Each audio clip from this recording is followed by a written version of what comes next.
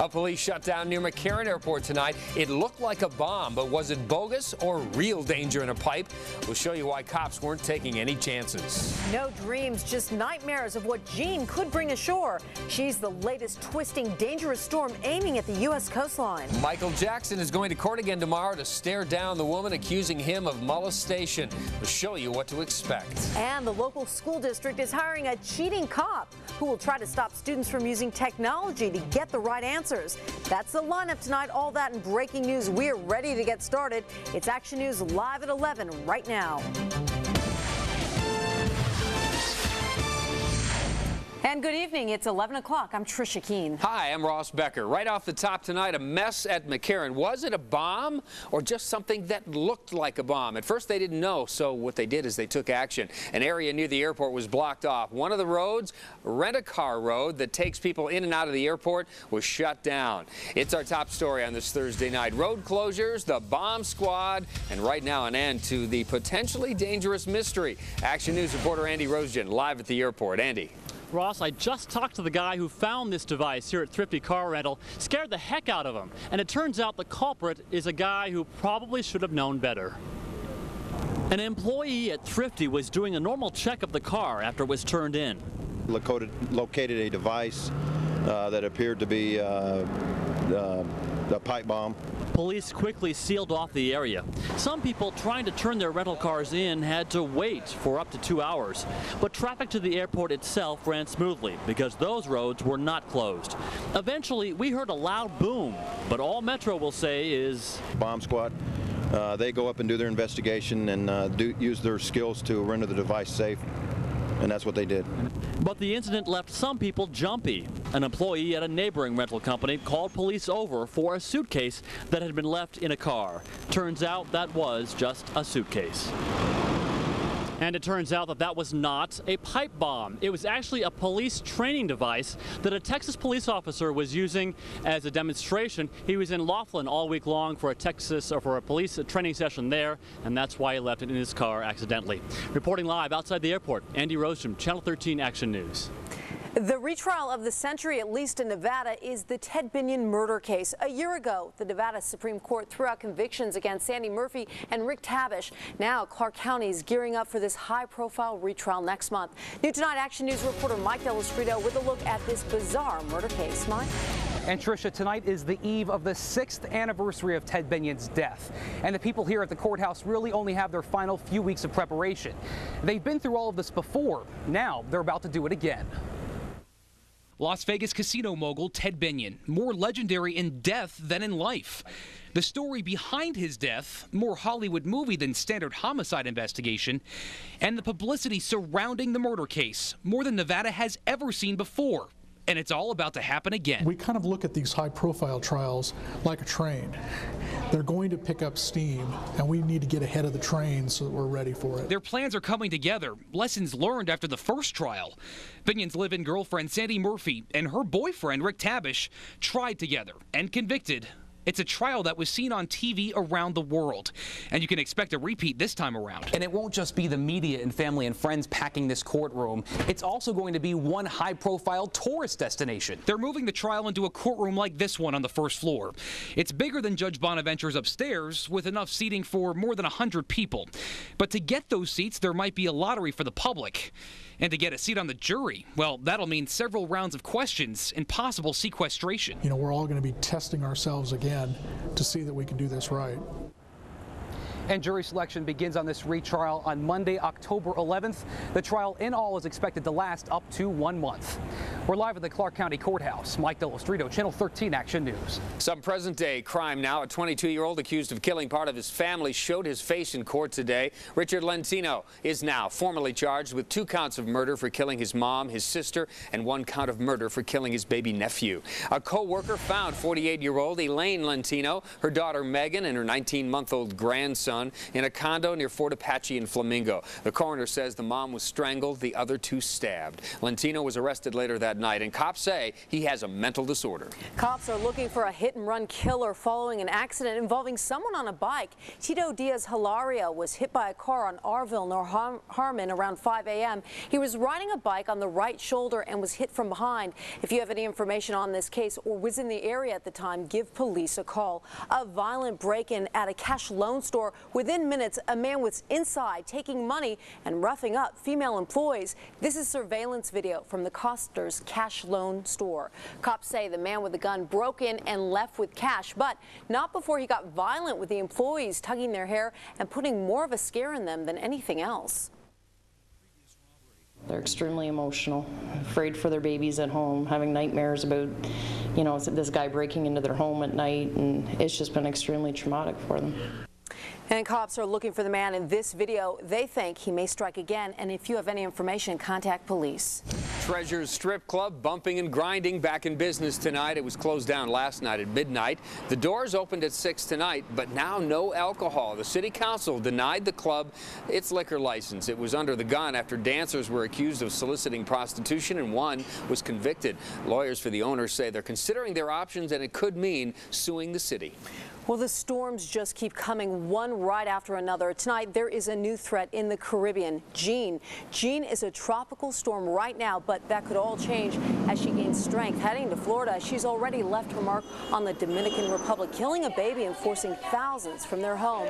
Nate Tannenbaum is tracking Jeanne. He's in the Action Weather Center tonight. Nate?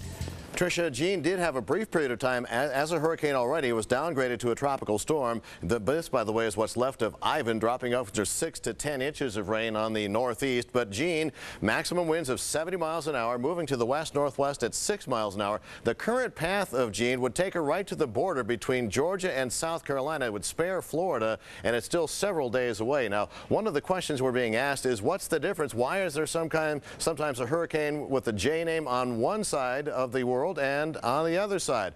The answer is there are two different lists of hurricane names. There's Javier, and then there was there's um, there was Jeanne and they're all continuing to be a factor. We're going to keep monitoring all of them here in action weather.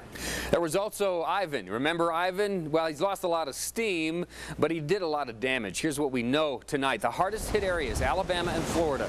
23 deaths, most in Florida due to uh, tornadoes from Ivan. Heavy rains also falling in Georgia and Tennessee right now. Eric Hong is on damage patrol. With power still out for much of the central Gulf Coast, storm victims are spending another night in the dark. Power crews headed into heavily damaged communities, while National Guard troops enforced curfews. Keeping watch over things, getting things back to normal, um, keeping intersections going, keeping businesses guarded, and uh, I told you, keeping honest people honest. Ivan caused widespread flooding from Louisiana to Alabama to Florida. The hurricane's ferocious winds snapped tree trunks like toothpicks and turned buildings inside out. Many say they underestimated the powerful storm. In downtown Pensacola, part of the Harbor Inn's roof now sits across the street. Gulf Shores, Alabama, boats that were moved indoors for protection were crushed anyway. Boats that were not dry docked ended up in trees or at the bottom of the sea. President Bush plans to survey the damage in Alabama and Florida this weekend. It'll be his third trip to hurricane ravaged areas in a month. Eric Hong, ABC News, Pensacola, Florida. Turning now to the Michael Jackson scandal, a very big day in court tomorrow for the singer's sexual assault trial. Jackson's lawyers arriving in a Santa Maria court today in front of photographers and a die-hard Jackson fan. Expect more of them tomorrow in court. Jackson will come face to face with his accuser's mother, who's expected to take the stand. One of the issues also tomorrow is a search of Jackson's Neverland Ranch. Last November, uh, that search took place and investigators took thousands of things from the ranch, claiming it as evidence. And Jackson's lawyer wants some some of that stuff kept out of the trial. The pre-trial hearing will determine what evidence will be allowed. And Michael Jackson's family will be together to support him at the ranch tomorrow, and from there they will go to court. Eight or nine family members by his side. It's expected to be the largest family turnout since the case started. Family reunion, Golden Beauties in Los Angeles. You know, there are a lot of them, but these are extra special. The Emmy statuettes arriving in star fashion, ready to go for the annual Emmy Awards. They're all packed up tonight. But uh, there's one coming out of the packages. But come on Sunday, they're going to be in the hands of the stars. You can see the award show right here on Channel 13 at 8 o'clock on Sunday night. Love the Emmy. Should be a good show, too. Should be. All right, well, new information about what may have happened to Roy Horn the night of his dreadful tiger bite. Tonight, the Roy tapes and what they reveal about the mishap on the way to the hospital. Then why the cheating police may be coming to a school near you. Nathan Tannenbaum back at the Weather Center talking about our local conditions. Going to get very windy around here, and high temperatures may be as low as the upper 70s. We'll tell you all about it coming up in Action Weather. And the Donald comes out swinging in just a few minutes while he's fighting back at ABC. You're watching Action News live at 11.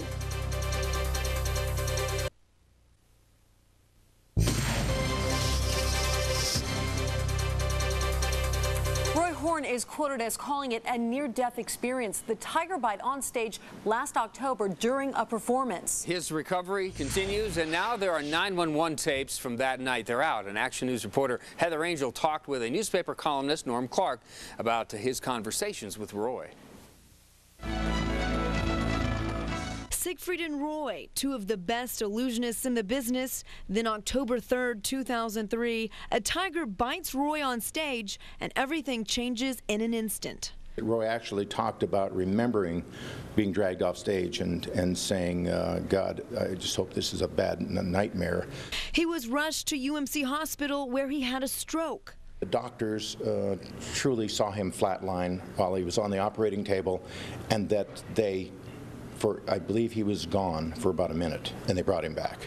He described uh, having um, a, a near-death experience, seeing a bank of white light and seeing all of his favorite big cats.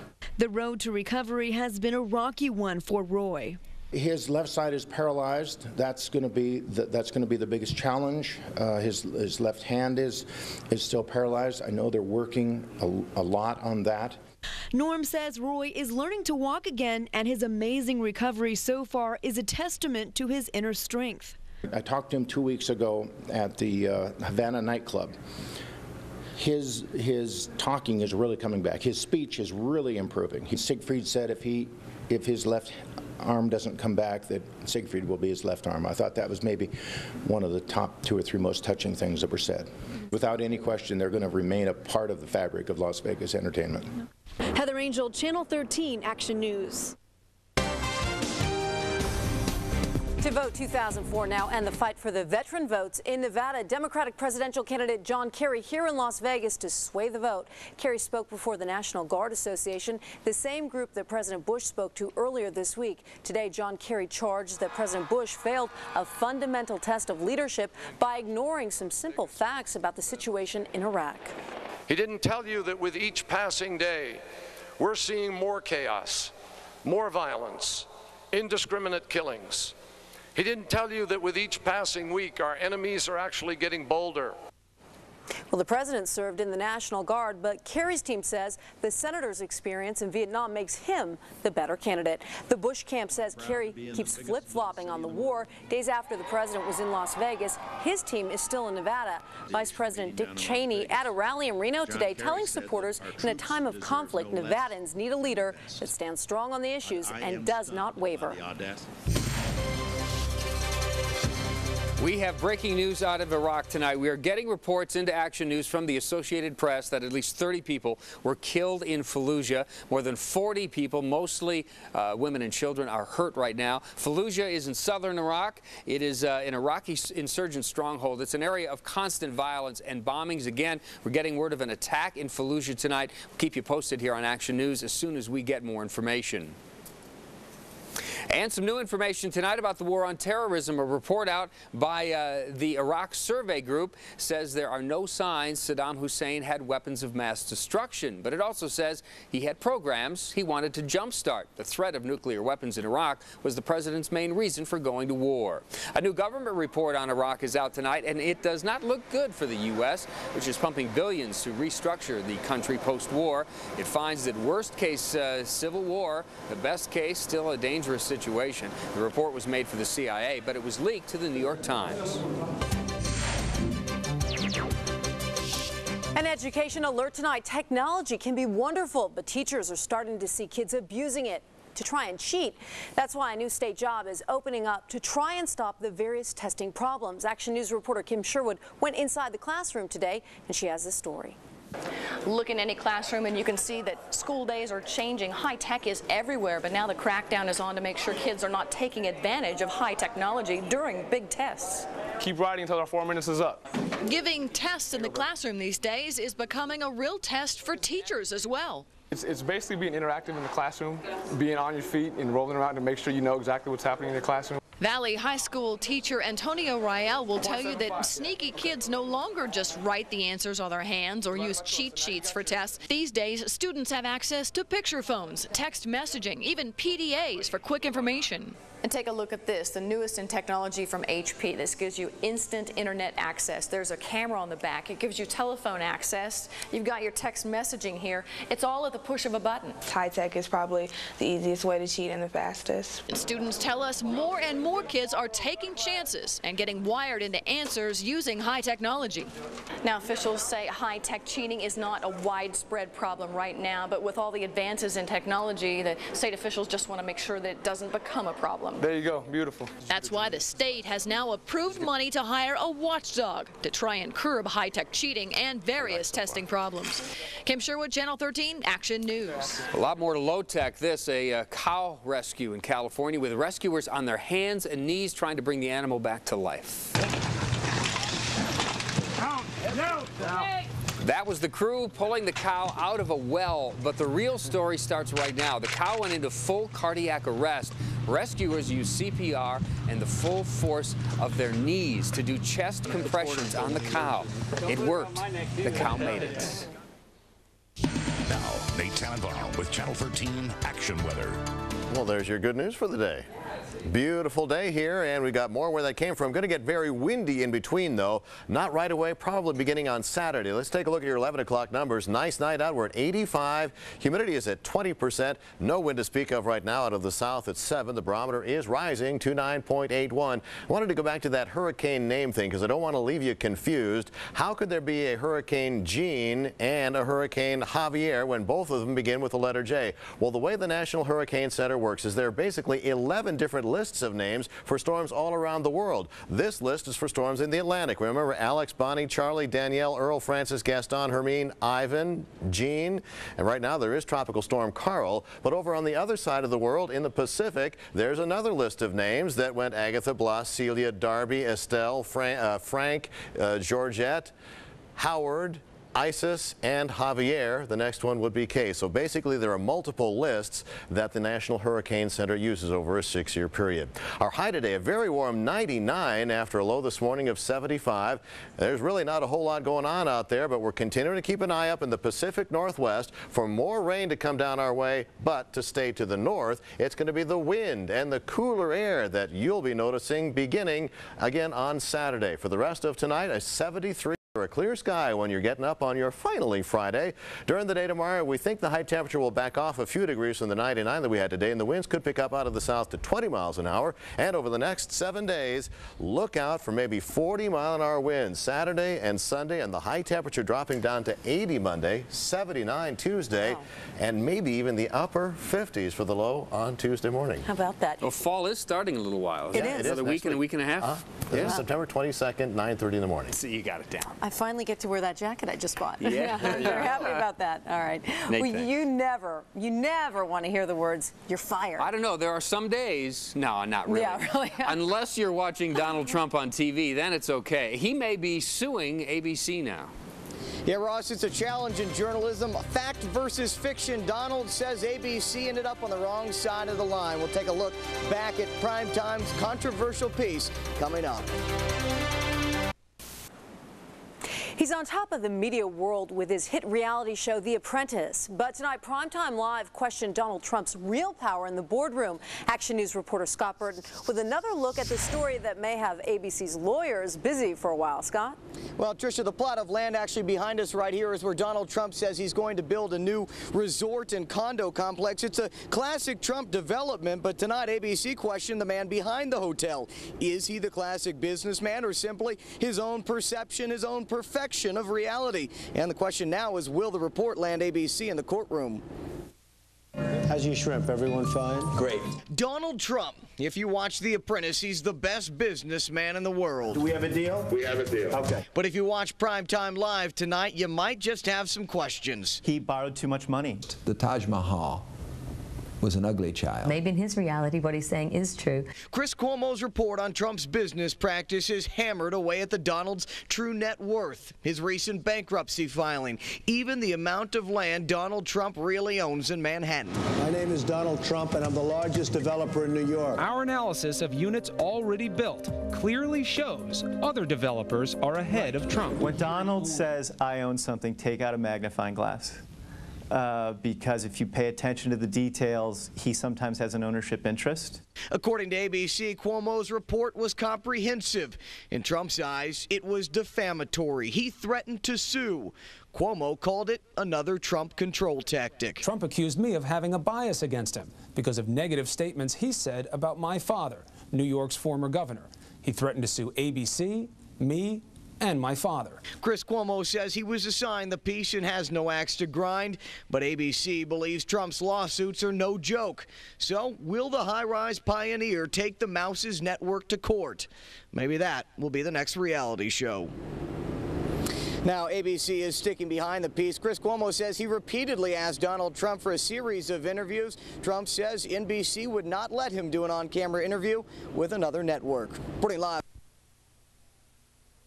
President Bush and I approve this message. yes. Listen, you guys, have a great night. Um, what is tomorrow? Friday, finally. Finally. Friday. I keep remind, reminding you of that all the time. Good night, everybody. We'll see you tomorrow. Yeah, have a good one. We'll see you tomorrow night live at 11.